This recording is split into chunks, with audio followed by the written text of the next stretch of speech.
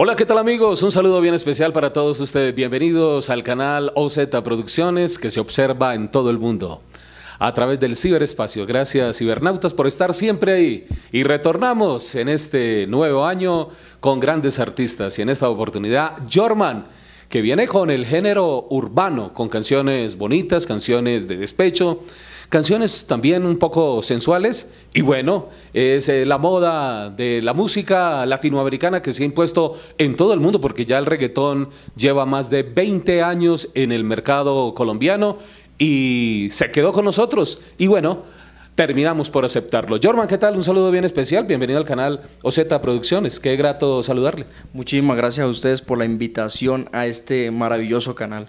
Bueno, Jorman, ya dentro de la música urbana, el reggaetón, le dio por esto precisamente porque usted es una persona joven y, y desde pequeño venía ya escuchando este género y no otros. Exactamente, no, pues yo soy versátil, a mí me gusta todo tipo de música pero me fui más por el reggaetón, me, encanta, me gusta, me gusta bailarlo, me gustan los sonidos, me gustan los beats, me gusta absolutamente todo. Desde que tiene uso de razón, ¿qué artistas reconoce o se acuerda de ellos? Eh, claro, recuerdo, recuerdo a Tito el Bambino, eh, Héctor el Fire, cuando empezaron el reggaetón, desde, desde los principios. Y desde el principio usted eh, tenía la idea como ser cantante, ya tararía los éxitos de estos cantantes o, no tenía enfocado en su vida profesional más adelante hacerlo? Claro, claro que sí, yo eh, las cantaba, eh, los imitaba, mejor dicho, que no hacía esto, hasta sacaba las ollas de, de, mi mamá y le empezaba a tocar y yo decía, no, esto es lo que me gusta a mí, el reggaetón, lo que pasa es que por el pasar del tiempo y, las dificultades no, no había podido ejercerlo. Perfecto. ¿Qué edad tiene usted? 29 años. 29. ¿Y usted mm, tuvo la iniciativa en solitario? ¿Alguna vez le comentó a sus padres, a algún tío, algún amigo cercano que quería ser cantante y qué le dijeron? No, yo siempre, siempre. Yo, aparte de todo y a pesar de todo, fui policía. Entonces, yo tengo unos amigos de, de estudio, de colegio, y ellos sabían que a mí me gustaba mucho el canto. Hoy en día me dicen, hey, esto, Jorman, yo siempre, yo sabía que usted iba a sacar algún día un tema porque a usted le gustaba mucho la música, le encantaba. Y ellos me recuerdan eso y, yo, ah, sí, siempre, de siempre me gusta la música. Muy bien, y bueno, ¿y cómo fueron esos inicios musicales? Eh, ¿Cómo fue la idea de las letras, eh, armar un grupo para, para la grabación? Cuéntanos un poco de eso. Bueno, pues los inicios míos eh, se dieron un día X, dije yo, voy a, voy a escribir una letra, voy a ir a un estudio de grabación, que al principio siempre es difícil de buscar un buen estudio, de que de pronto eh, le den a usted esa certeza de que son muy buenos, de que va a sacar un producto bueno a la calle, ¿sí? Entonces se me dio dificultades, pero al fin y al cabo encontré grandes productores que hoy en día pues tengo mis temas y me gustan. Me gusta lo que hice y a la gente le gusta lo que estoy haciendo. Claro que sí. Esas primeras canciones, ¿cuáles fueron? ¿Cómo las tituló? ¿Quiénes fueron los compositores? Eh, siempre mis canciones eh, he sido yo el compositor. Eh, la primera canción se la saqué a mi señora esposa, La Celosa que era muy celosa, que, que, me miraba el celular, que entonces empecé a escribir y le saqué la canción a ella. Ah, todavía hay mujeres celosas. Claro, altísimas. y bueno, ¿cómo decía la letra?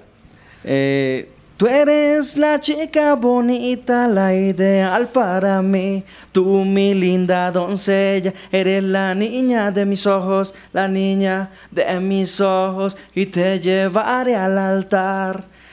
Prácticamente la canción es, eres lo más lindo para mí, eres lo más hermoso, pero me celas tanto, me celas muchísimo.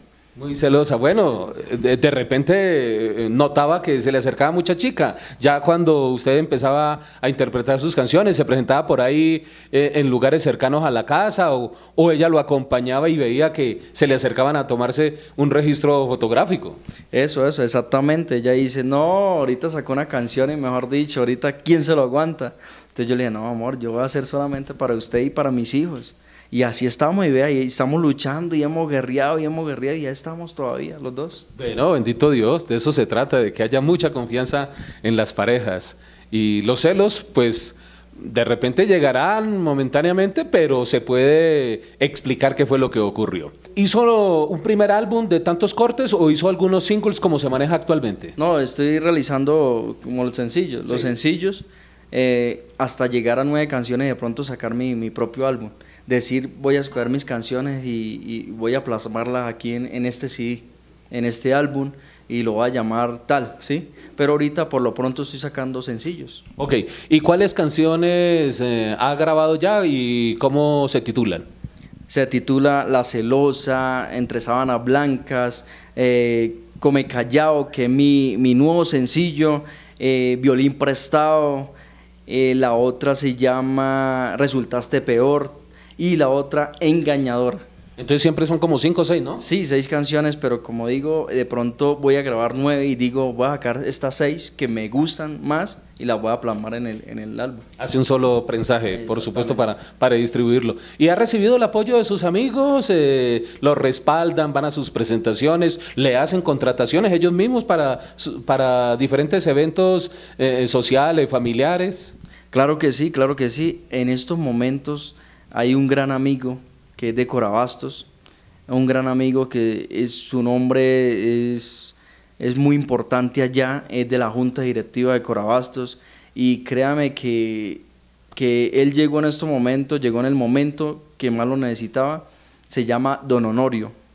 Él me patrocinó el video y estamos en eso, en patrocinar el resto de, de, lanzamiento de Come Callao, si Dios quiere la ver. Pues a don Honorio, pues muchas gracias a todas las personas que ayudan, por supuesto a Jormen y a todos los talentos nacionales de diferentes géneros, pues el agradecimiento de, esta tribuna de OZ Producciones, ¿cierto? No, yo le agradezco a todos mis amigos, a todos los que están al lado mío, comparten la canción, a todas esas chicas que me han servido de modelos, que, que no cobran ni un peso. Sinceramente, eso es de, de honrar y de agradecer.